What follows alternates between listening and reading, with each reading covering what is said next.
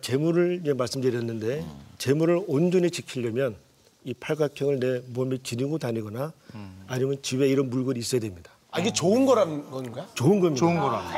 팔각형은 악의 기운을 물리치는 그런 기운이 있습니다. 어, 그래요? 그렇죠. 그래요? 군대 다녀오셨습니까? 예, 소집 해제했습니다. 소집 소집 해제는 뭐죠? 방위, 방위. 어디 나오셨나? 저도 육군 나왔어요. 대한민국에서 가장 힘이 있고 어, 용맹한 군대라면 어디가 팔강 어, 마크. 해군. 해군? 그 해병대, 해병대. 해병대, 해병대. 해병대. 해병대 가 왜 그렇죠? 팔강. 아, 그- 팔강 고자. 팔강. 그렇죠. 팔강 고자가 있죠. 어느 분이 그 팔강 고자를 디자인했는지 엄청나신 분입니다. 아, 악의. 기운. 그렇죠. 귀신 잡는 어, 해병 그렇죠. 귀신 잡는 해병. 팔각. 팔각형 소품을 돌아.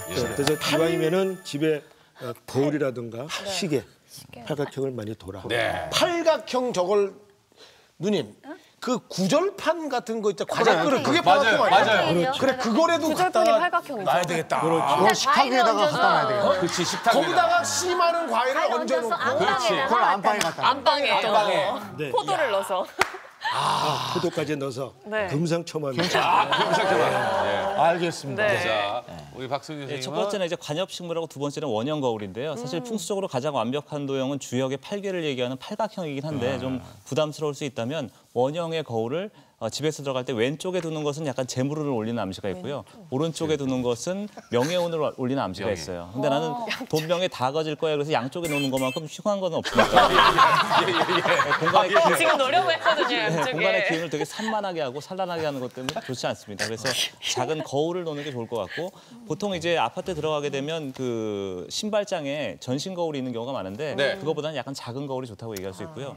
그리고 첫 번째 이제 관엽식물은 어, 공기 청정 기능도 있긴 하지만 어, 식물이라는 게 따뜻한 느낌을 줄 수 있고 생기를 불러주는 아이템으로서 어, 거울과 함께 굉장히 좀 중요하다고 얘기할 수 있어요. 그래서 너무 뾰족한 침엽수라든가 선인장 같은 걸 두지 마시고 입이 넓은 그런 나무를 두시면 좀 좋다고 얘기할 수 있습니다. 거울 얘기 나왔으니까 그런데 현관문 열고 딱 들어가서 바로 맞은편 벽 있잖아요. 네. 거기에 큰 거울 있는 건 어때요? 그것만큼 안 좋은 게 없죠. 그건 치워야 되는구나. 네, 그러니까 보통은 있어요? 아니 나 없는데 누가- 그런 집들이 있어요. 아, 그런 집들이 있어요. 그래서 물어보는. 들어올 때 뭐 체크한다고 뭐 하는 경우도 있는데 어, 두- 좋은 기운이 들어오는 현관에 나가는 쪽이 게 반사돼. 별로 좋지 않은 거예요. 아, 저는 좀 많이 썼는데요. 이제 모란, 이 이제 부기 영화 이제 재물 들어온다는 거거든요. 저희 집. 음, 그 모란하고 해바라기 그림을 좀 추천드리고, 그다음에 이제 황금빛 소품은 웬만한 건 다 좋다고 보고요. 어, 여름생인데 내가 아주 덥다. 그런 이제 분수나 어항 같은 걸 놓으면 길을 좀 이렇게 내리고요. 겨울생이면 이제 인조 뼈치가 가짜 난로죠. 그래도 너무 심리적으로 좀 따뜻하니까 그 자기를 보완해주는 하나의 소품으로 이용할 수 있습니다.